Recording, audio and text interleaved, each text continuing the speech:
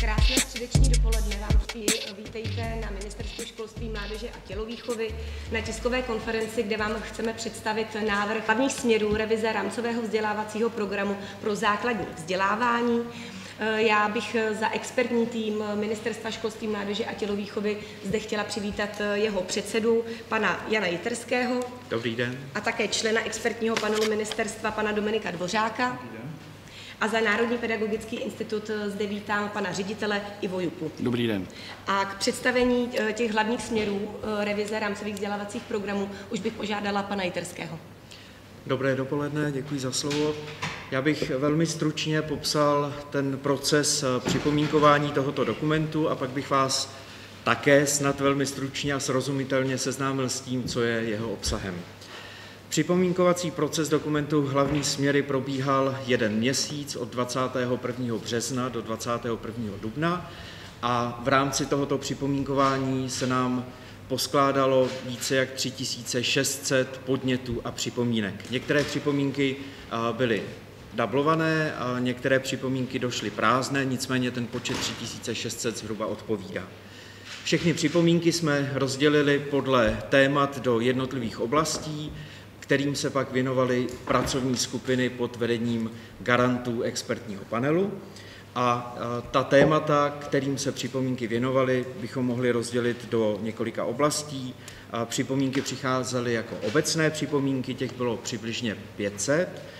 Postavení rámcového vzdělávacího programu v systému kurikulárních dokumentů a samotné struktury RVP těchto připomínek bylo přibližně 300 až 350 Jádrový a rozvíjící vzdělávací obsah, to bylo téma, které vzbudilo velkou pozornost.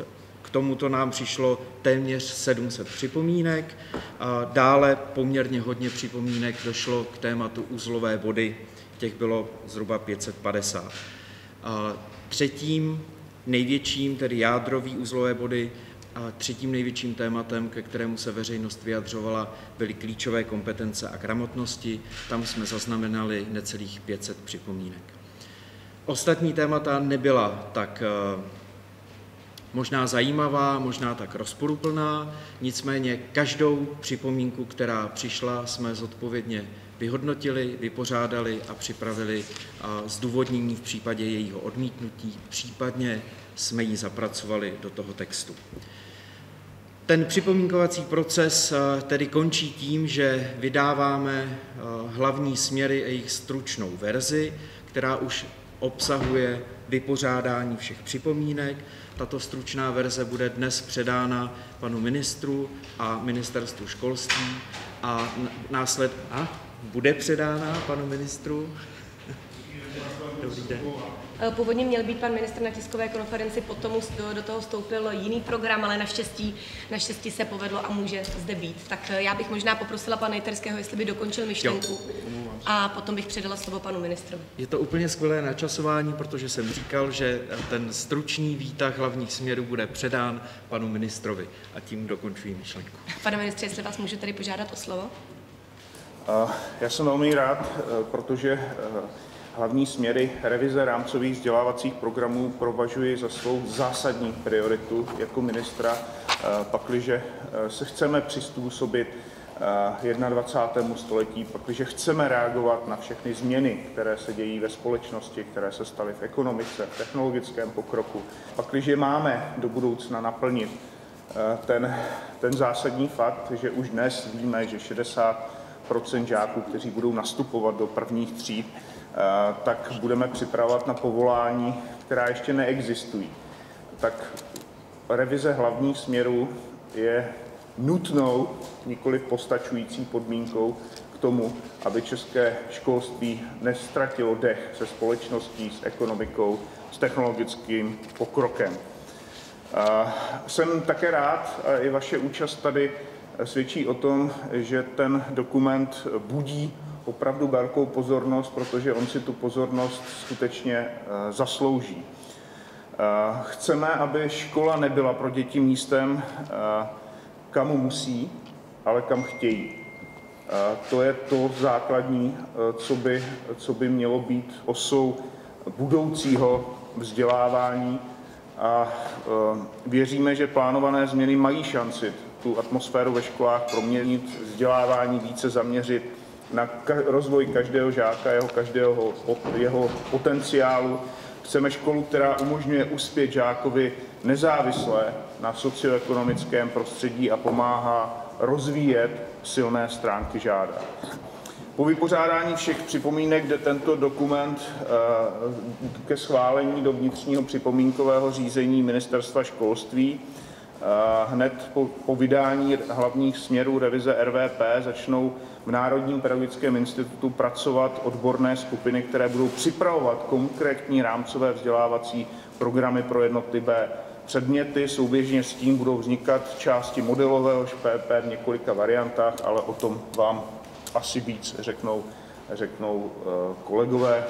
Děkuji, že jste přišli a eh, že věnujete pozornost změnám ve vzdělávání, protože pro budoucnost České republiky je to zásadní. Pane ministře, moc děkuji a poprosím pana Jiterského, jestli by ještě dokončil eh, své slovo. Jo, já jsem slíbil, že stručně popíšu obsah toho dokumentu hlavní směry revize rámcového vzdělávacího programu. Jedná se tedy o koncepční dokument, nejedná se o samotný rámcový vzdělávací program, tedy nenajdete v něm konkrétní zadání konkrétního vzdělávacího obsahu, jednotlivá témata, ale najdete tam vizi, která by měla sloužit k tomu, aby rámcový vzdělávací program pro základní vzdělávání byl upraven, revidován a upraven. Rádi bychom se tedy zaměřili a pokračovali v zaměření vzdělávání na rozvoj klíčových kompetencí. Chtěli bychom, aby obsah vzdělávání byl modernizován, aby byla nově pojata průřezová témata, aby se projasnil jejich význam a jejich užití při samotné výuce. Chtěli bychom zdůraznit důležitost dvou základních gramotností, a to je čtenářská, včetně všech jejich součástí, tedy i pisatelské, a základní gramotnosti matematické. A rádi bychom také definovali nebo umožnili definování takzvaných oborových gramotností, které tež považujeme za, za velmi důležité. A nově koncipujeme systém uzlových bodů, které by měly sloužit jako záchytná místa pro identifikaci případných vzdělávacích obtíží nebo nějakých kritických míst ve vzdělávací soustavě a v neposlední řadě bychom chtěli dát maximální podporu školám a učitelům například vznikem modelového školní, modelových školních vzdělávacích programů, tedy nástroje, který pomůže učitelům lépe plánovat, realizovat a nakonec i vyhodnocovat svoji práci a, a vzdělávání. To je zhruba z obsahu. Řeknu, že tím poměrně kritickým místem, které budeme předkládat ministerstvu ještě ve variantním řešení, je rozdělení vzdělávacího obsahu na jádrový a rozvíjející. A protože tady máme sebou garanta této, této oblasti, pana doktora Dvořáka, tak eh, ho asi, jestli můžu prostřednictvím vás, eh, požádat o blížší představení tohoto tématu. Dobrý den. Jádro bylo, to rozdělení eh, na jádrový a rozvíjející obsah vzdělávání skutečně bylo tématem, ke kterému přišlo vůbec nejvíc připomínek. A ty připomínky ukázaly, že veřejnost je ve vztahu k tomuto tématu polarizovaná. To téma má řadu odpůrců, kteří se bojí, že vymezení jádrového nebo minimálního obsahu povede k posílení vzdělávacích nerovností, což je vůbec jeden z největších problémů současného českého vzdělávání. Na druhou stranu nás překvapilo, kolik lidí eh, si to přeje, aby se vymezil nějaký jádrový obsah. A já myslím, že je potřeba klást si otázku, proč tolik lidí volá po vymezení jádrového obsahu, tolik učitelů konkrétně z praxe volá po vymezení jádrového obsahu. A musíme tomu porozumět, co v té současné situaci nefunguje a co si od toho slibují. E, trochu mě mrzí, nebo nás mrzí, že ta diskuze o tom rozděl, o rozdělení obsahu zastínila krok, který považujeme snad ještě za důležitější a který musí předcházet, a to je, tam, to je modernizace vzdělávacího obsahu. Jakoby ta diskuze trochu odsunula na vedlejší kolej to, že e, obsah vzdělávání se musí změnit, tak jak o tom mluvil pan ministr z těch důvodů, které jsou nám asi všem zřejmé. Ta, ten sám fakt, že e, to téma polarizuje a že ta diskuze to ukázala, považuji za velmi pozitivní, protože to ukazuje, že do té diskuze se zapojili skutečně lidé s různými názory, zkušenostmi a potřebami. E, to, ten nápad na rozdělení na jádrové a rozvíjející učivo není něco, s čím by přišel panel, to je zadání ze strategie 2030, to tady možná úplně nebylo řečeno, nepřipomenu to, že my navazujeme na politický dokument strategii 2030, která je střednědobým výhledem českého vzdělávání. A tam je ten, ta myšlenka na to rozdělení jádrového učiva eh, právě eh, považována za nástroj, který by mohl pomoci překonat ten problém, že v současné chvíli neví, nemalá část, zhruba jedna pětina žáků odchází ze základního vzdělávání, aniž by si osvojila základní gramotnosti pro život. Takže, už to schrnu, eh, jsou spojená velká očekávání s tím vymezením jádrového obsahu. Zároveň se ukazuje, že si tu limitu, hranici mezi jádrem a rozvíjejícím obsahem představují lidé velmi různou. Také se nás ptají na to, jaké budou další kroky po vymezení toho učiva, to znamená, toho, toho jádrového obsahu. To znamená, jak bude výuka organizována a jak budou žáci hodnoceni ve vztahu k těmto dvěma úrovním učiva, nebo obsahu. Promiňte, obsahu. Takže my jsme cítili potřebu to v expertním panelu neuzavřít jednoznačně právě k té vel, vzhledem k té velké různosti názorů odborné veřejnosti.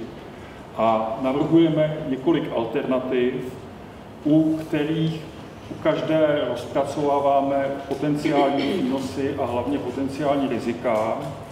A ten materiál bude předložen potom ministerstvu, které bude mít podklady pro to, aby rozhodlo, jakou další cestou se v téhle oblasti vydat.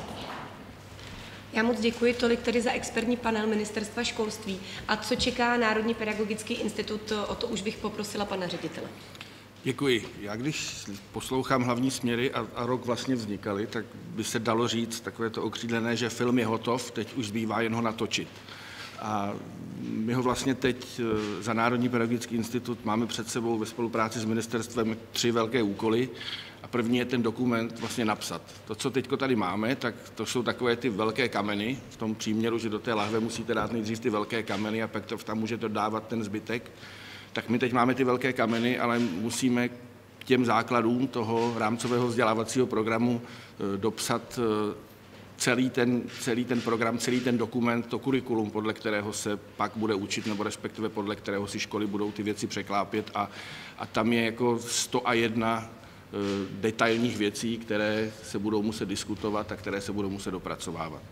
Druhá věc je, která nás čeká, že tento dokument e, budeme muset ještě zasadit do kontextu nějakých širších rámců, řekl bych, buď nějaké střechy, nebo ho posadit na nějaký základ, protože je potřeba si uvědomit, že tohle jsou rámcové vzdělávací, tohle jsou hlavní směry eh, pro základní vzdělávání. A my jako v následujících letech budeme revidovat předškolní vzdělávání, odborné vzdělávání, středoškolské vzdělávání jako takové a vlastně musí to mít přesah i do celoživotního učení. Čili eh, tento dokument nemůže vznikat tak, když víme, že budou vznikat další dokumenty paralelní pro tu předškolku, pro předškolní vzdělávání, pro střední školy, eh, ne, nemůže vznikat tak, že by eh, vlastně byl vytržen z toho kontextu a, a musíme si být vědomi toho, že máme vytvořen nějaký společný základ pro tyto dokumenty a nebo společnou střechu, jak chcete, pod kterou se pak všechny musí vejít a musí být vidět, že to jsou tři dokumenty na sebe navazující dokumenty, pod které se vlastně jako podepisuje ministr vzdělávání které vlastně jako prostupují celou tou soustavou. A ta třetí věc, která nás čeká, je, že eh, když ty dokumenty budou napsané, a oni vlastně poměrně velmi moderně a, a svěžně byly napsány už v roce 2007, ta, ta vlastně ta, ta stará revize, která byla, tak byla jako na svoji dobu, jako řekl bych, velmi jako moderní, ale to, co se vlastně tehdy nám jako nepodařilo, asi úplně, nebo to, co se nám nepodařilo, tam je potřeba říct jako tečku, ne úplně, proč to se fakt nepodařilo, eh, vysvětlit to těm školám a podpořit tu implementaci. Eh, podpořit školy, aby přesně věděli, co je potřeba potřeba dělat, co mohou dělat a aby ve chvíli, kdy přijde něco, co je teď jakási revize, nějaká novinka, tak jenom potřeba říct, že to není jako úplně jako utržené na 100%, že se to nepřeklápí do nějakých jako prostě úplně jako nových poloh, eh, ze kterých ty školy si budou říkat, tak co si s tímto počnem, ale přesto přeze všechno je tam jako řada nových aspektů a tak, jak o tom mluvil pan minister, pan ředitel Literský, ostatně i pan eh, Dominik Dvořák, eh, ty školy budou muset dělat něco jinak. Prostě bude zřejmé, že ve školách se teď nebude možné dělat pořád dál ty samé věci, které se dělaly teď a očekávat, že dojdeme k nějakým jako jiným výsledkům a, a že budeme naplňovat nějaká nová nová kurikula. A, tohle to je potřeba, aby e, Národní pedagogický institut e, všechny školy, všechny učitele, kteří to budou potřebovat a chtít, významně podporoval a to je vlastně jako ten třetí úkol, který před náma je a, a na to, jak velké jsou to úkoly, tak mám pocit, že jsem rád, že už není žádný čtvrtý, nebo respektive, že zatím jako nevidím. Tak pane řediteli, moc, moc děkuji. Tolik tedy k představení eh, těch hlavních směrů a co se bude eh, dít, eh, co bude mít na starosti Národní pedagogický institut. Ještě možná důležité je znát nějaký ten časový harmonogram, co se ještě dál dít, bude dít, tak jestli můžu, pane řediteli Terský, poprosit vás. Tak ten časový plán a harmonogram, který víceméně stále držíme, je předání hlavních směrů tedy dnes 15.6. do rukou ministerstva, s tím, že dnes předáváme jeho stručnou verzi, která je vám i k dispozici, abyste se do ní mohli podívat. Zároveň bude v průběhu v řádu dnů předán ten celkový zhruba 90 stránkový podrobný dokument, kde je konkrétní zadání pro NPI a kde jsou všechny ty myšlenky z tohoto stručného dokumentu rozpracovány. Eh, následovat tedy bude schvalovací proces uvnitř ministerstva. Eh, můj odhad je, že do konce července bychom měli mít hotové, vydané a schválené hlavní směry k předání Národnímu pedagogickému institutu. A pak už ten harmonogram, pokud se nebude eh, v důsledku nějakých mimořádných událostí, kterých jsme denodenně svědky, nějak posouvat, tak bychom na, na jaře v roce 2023 chtěli představit první verzi k připomínkování rámcového vzdělávacího programu pro základní vzdělávání.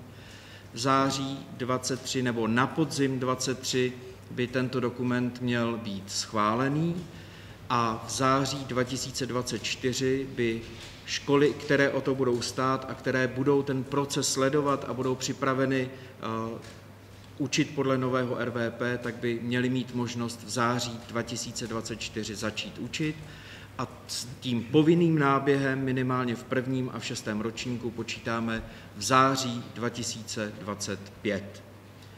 O tom, jestli eh, to bude pouze v prvním nebo v šestém ročníku, nebo zda umožníme, a to máme v plánu školám, začít třeba na celém prvním stupni, pokud jejich organizační struktura tomu bude nápomocná, tak eh, o tom ještě vedeme jednání. Každopádně bychom tento prostor chtěli zachovat. Hmm. Já bych jenom doplnil ten konec. My jako ministerstvo chystáme masivní podporu toho, protože tak, jak eh, už naznačil pan ředitel Národního pedagogického institutu, to, co se v, to, v té první, eh, v prvním vzniku rámcových vzdělávacích programů neúplně povedlo, byla ta práce, práce eh, s pedagogy, s učiteli. Ano, víme, že je část učitelů, kteří prostě hm, chtějí takzvaně učit po staru, kteří sice formálně ten dokument jako nějakým způsobem vytvoří eh, společně s kolegy, ale pak ho vloží do šuplíku, nepracují s ním, eh, nechtějí měnit svůj styl výuky. A my chystáme podporu jak metodickou, tak, tak eh, tak řekněme práci na týmech učitelských, tak aby se skutečně ve školách něco, něco změnilo. Dáme jim rozsáhlou možnost jak společně v tom kolektivu se je budeme snažit naučit, jak možnost s rámcovými vzdělávacími pra- programy pracovat se trvalé, průběžně, jak měnit svůj styl výuky, jak obohacovat výuku, eh, jak si vzájemně pomáhat. Já děkuji všem řečníkům a nyní už jsou nyní už je prostor pro vaše novinářské